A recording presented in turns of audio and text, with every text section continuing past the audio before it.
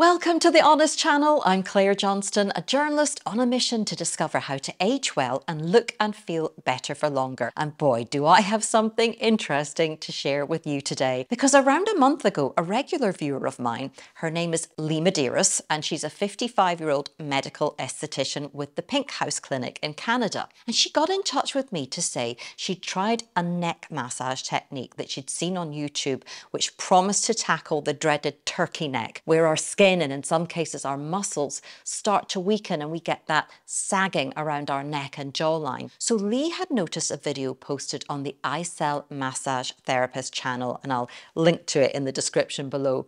The video has gone viral with over 1.5 million views. And in it, the massage therapist shows viewers a simple technique involving buffing your skin with a rolled up towel that's first soaked in salted water. And she claimed doing this would help get rid of turkey neck and that you'd see results within two weeks of trying it. So had it not been for Lee, I wouldn't have taken this advice very seriously. But she told me this simple technique has indeed made a dramatic difference to her neck and she sent me the before and after pictures to prove it. So now we're going to hear firsthand from Lee about this intriguing technique, its potential effects, and we'll have a look at safety too.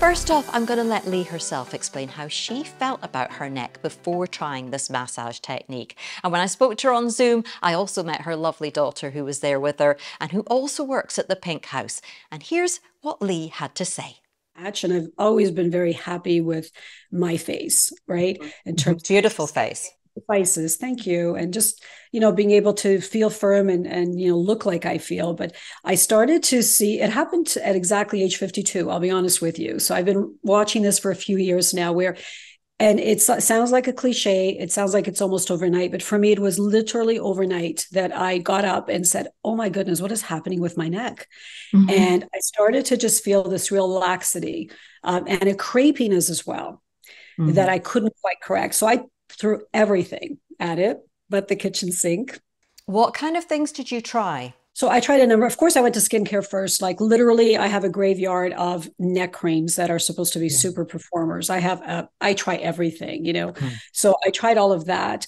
Um, I'm a huge retinoid, uh, you know, retinol user for the face. I found my neck could not tolerate that. Mm. Um, that was difficult. That was such a challenge because I knew, you know, instinctively that if I were to able to get the neck to acclimate to that, that I couldn't see a change, but I just couldn't tolerate it. So it was very frustrating. So I tried devices. I've tried microcurrent. Uh, I tried RF microneedling. I did do a couple of those procedures as well and um, and because we do have a small clinic i have access to an rf device so i try that consistently and what i found is that all that might have helped with the texture so I definitely can say I've seen an improved texture and the crepiness has absolutely mm-hmm. been improved. But that constant lax, laxity and lack of firmness, I felt it was just deeper, like at the muscular level that I just could yeah. not get to, right? Short of mm-hmm. surgery. Really want to go there and consider that. But I have thought about it. like yes. Yeah, we all have.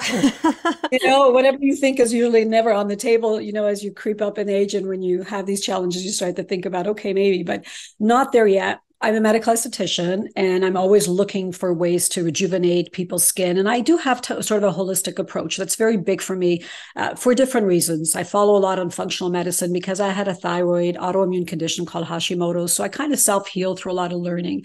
And I absolutely feel that anything happening in the gut internally is going to be reflective externally on the skin. It's like 100%. So anytime I see women complain about things, I tend to go, okay, what are you eating? What are you doing? Mm-hmm. Um, and then I try to look at more natural ways. Huge, huge fan of sculpting massage. I do that myself a lot to my clients. I just feel like I literally can transform their skin after half an hour of massaging from a sculpting perspective, getting oxygenating the skin and the blood flow. Um, just I literally see their muscles kind of almost reset themselves. They just look so much more refreshed and their skin they just looks toned. And I just started to really look into massage and on the face and I've done a lot of training around that. And I do believe it actually strengthens the skin, which is something we all want. Um, you know, and it does stimulate collagen and maybe that's a debate you know i don't want to say that that's exactly what it does but you know a lot of the experts will suggest that you know don't underestimate the power of massaging and moving the skin. I'm sure like you i look for there's wonderful experts out there uh, you know love love youtube. I kind of live on it. That's how i found you as well. And so i i ran across this lady Aysel, i think i'm going to butcher her name but she's a massage therapist.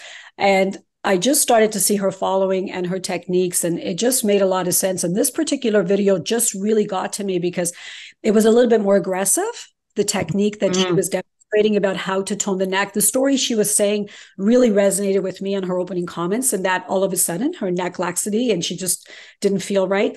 Um, and then I read through the comments as well, which I think we often do. And it was like quite compelling that a lot of people were saying, I try this, is like magic. It's amazing. I'm like, you know, what do I have to lose? I love massaging my face. I'm so huge. I do gua sha every day and I did do gua sha on the neck or whatnot, and I find it helps to some degree. But I like I wanted something a little bit more aggressive. Can I ask what that is? A, a gua sha, did you say? So the gua sha is that the tool you take and you can actually like pull the muscles. It's more about moving fluid, stagnant okay. fluid, lymphatic drainage. So I find you get more sculpting from it, but it's oxygenation of the blood mm-hmm. and actually you know it just and it gives you such a beautiful flush and i just find it just prepares the skin. So when you put on you know um, any of you oh like oh thank you. Little gua sha that we have. Your lovely assistant. My lovely assistant. And just so you know how you know uh, how strongly I feel about massage and gua sha of the face or whatnot. In one of our open house events at our clinic, this is what we gave away to our clients because I just want to encourage everyone to to do this to get that mm-hmm. movement in the face because it just brings such radiance and and and, and really great benefits to the skin and the health of the skin um, so i tried this i tried this technique after watching her video it just seemed so simple right yeah. that i just wasn't expecting a lot but there was something also just intuitive about the, the way that she hit the skin and the fascia, I felt like it was going deep. And I thought, you know, might this might activate and awaken my muscles. I just kind of really went all in with a positive attitude. And I will tell you, Claire, and I know it sounds like a commercial, but quite honestly, nothing has impressed me the way this, and it was almost immediate that mm you can talk to any of my girlfriends. I literally walked into the clinic. I said, oh, and my daughter, she was the first one I went to. Go, do you see the difference in my neck? I'm, I'm like, this is amazing. It literally felt like it act after that one time. Would you say after that first time? Two times, I would say twice to be fair. The first time you were doing it daily, were you? I absolutely Yes, okay. I was doing it daily for up to three minutes up to mm-hmm. three. I literally put on my iPhone with my counter and went at it. You know, the whole procedure, the salt water, taking a towel, making sure I, you know, soak it in there, rolling it up almost like a turnkey. And again, you can decide on the pressure. And so I did it lightly initially. And I think by the second day, I decided to kind of go a little bit more aggressive with it. I have to tell you that I just, I noticed an instant tightening of my neck. Like I found that the, the, the shape of it sort of changed for me. I actually also felt like the muscle contraction and the tightness after I finished doing it. So almost felt like I got a workout. And that's yeah. why I knew something's happening there. It's activating something. And I love the results visually. It was there. So it to me, that was better than any cream or any device that I have ever tried in terms of instantaneous results, right? Yeah. And I mean, well, the wonderful thing about this is you're not selling anything. If you were selling towels, maybe, but I mean, there's there's nothing to sell here. It's just literally your experience. Um, how, when you say you were going hard at it, because you know, this, is, this is why I was sort of weighing up and why I wanted to get Dr. Emmeline involved as well, because I don't want anybody hurting themselves in the process of doing this. So when you say you were going quite hard at it, so you're getting flushing, um, how, were you actually feeling any um, any soreness when you were doing it, or how, how hard would you say you went? No, it just felt like very light slapping. Like I did feel right, my muscles for sure, but no, I wasn't going hard to a point where it was hurting. I mean, yeah. I, any bruising, nothing like that. Um, and I like the technique she showed in the video because at first I kind of had the towel like lax, just folded, and then I did it more like a turnkey to kind of get a, bit, a little bit more of a pumping motion to the skin. Yeah, absolutely not hurting. I, I have a thyroid issue, so as you know, it makes it very challenging even with devices to go near that area. Mm-hmm. So I just keep it under my chin. I do it on each side of my jaw, and just make sure I do You're a full three. Avoiding that all important middle section here I, I, stay away from this completely, you know, but right here yeah. on the side of the jaw, on each side, and you get a great arm workout as well. like I tell you, it's challenging because at first my arms are starting to hurt. I'm like, oh, this is interesting, but, uh, but yeah, I mean, to your point, and and this is like something that of course you can do it your own time it's 100% free uh, it takes very little effort and I, I have to be honest with you i've probably missed a day in the last uh, month or so like i've i try right. to do this because it, it's just it's so quick. It's part of my routine in the morning. If i'm getting this kind of result and it's not costing me anything and i could take three minutes to do this i feel like it's a form of just exercising my neck as well as you know exercising my body and everything else that i do. So it's now part of my regime. And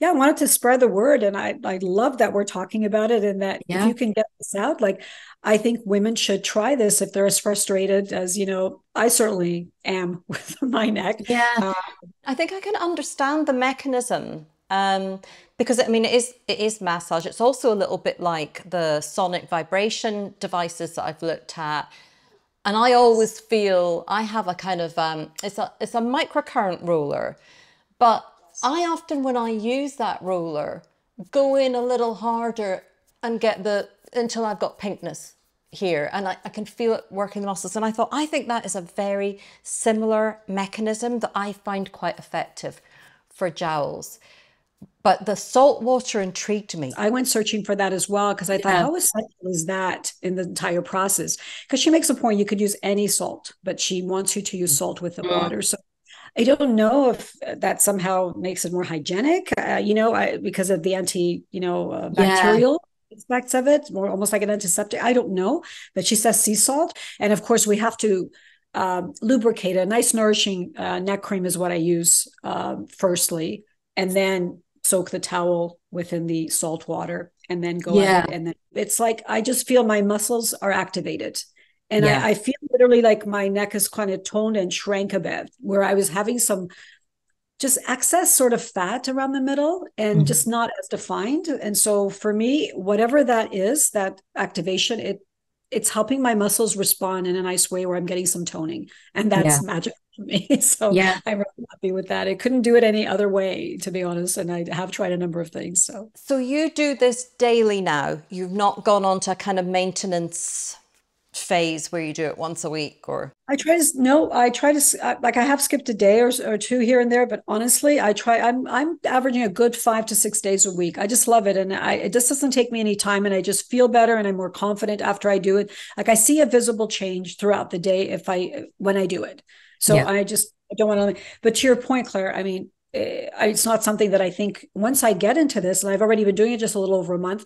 I'm uh, I know that I probably can pull back and maybe do three four times a week, but it's for very little effort, and to get that kind of stimulation and the result that I get, I'm I'm happy to do it. Okay, and um, just for that extra layer of detail, because I'm always asked lots of questions with every video. Um, what do you use? Do you use a washcloth or do you use a tea towel or um, what? What towel do you actually use? Favorite. I find a tea towel because it's a little bit lighter weight than even some of those smaller towels, you know, the, the face towels. Yeah. Yeah. yeah. I, the lighter weight, the better because the water already brings some weight to the towel once you mm-hmm. soak it. Mm-hmm. Uh, so I find that I can move. The movement is a lot more uh, seamless that way. So that's what I use. Perfect. Well, um, thank you so much for sharing this with us. Um, I'll be, we'll be interested to hear what Dr. Emmeline has to say about it and um, see if any viewers have had a similar experience trying this out because it was a it went viral. Well, I think it's got about 1.5 million views or something. So it's definitely a lot of people have have latched onto it, which is why it's so useful to get a kind of independent. I tried this and it actually worked for me. Yes, and and I mean we don't know each other, Claire. But I mean, and my daughter will tell you, I am like the least gimmicky person. I'm a very, you know, uh, I'm pragmatic almost about certain things. You know what I mean? Yeah. But this to me it's just again common sense because it's a form of exercising and yeah as long as the doctor if if they're know that that's not going to harm you i yeah. i don't know why this wouldn't be a great practice to incorporate in you know a skincare routine I want to say a huge thanks to Lee for putting herself out there and sharing her experience with us because she gains nothing from it. She just wanted others who were also looking for something they could do to improve sagging skin on the neck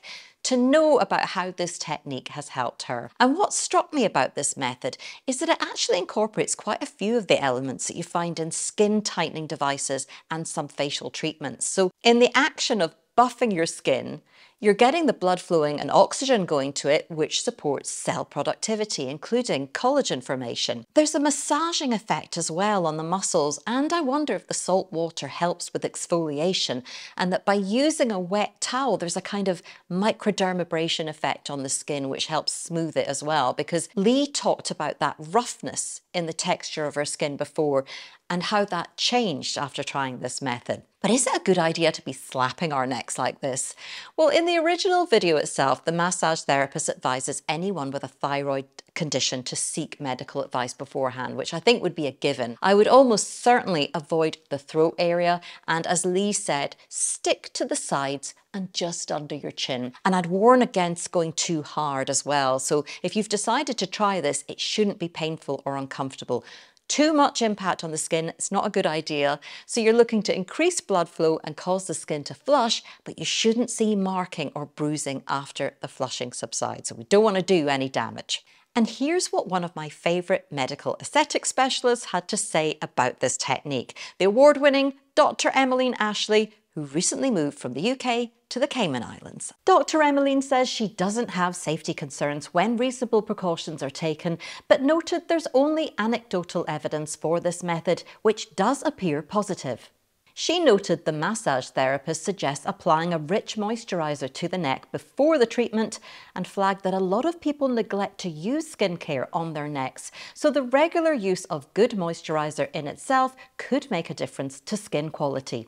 She added that this technique encourages elongation of the neck, which could help with tech neck, where frequently looking down at phones and devices contributes to the appearance of lines horizontally around the neck and loss of elasticity. That's it from me today on what has been a very intriguing testimonial from Lee. I'd love to hear your thoughts on this technique. Have you tried it? Would you try it? Let us know in the comments. And if you've undergone a transformation in later life, whether it's your health and fitness or you've discovered a skincare technique or product that works wonders for you and you'd like to share it with others, do reach out and let me know. You can find and message me on Instagram at Honest Claire. Don't forget to check out my website honest.scot for more advice and information around aging well. And if you haven't already, then by liking this video and subscribing to the channel, you help it grow and reach more people. For now, thank you for watching and listening, and I'll see you next time.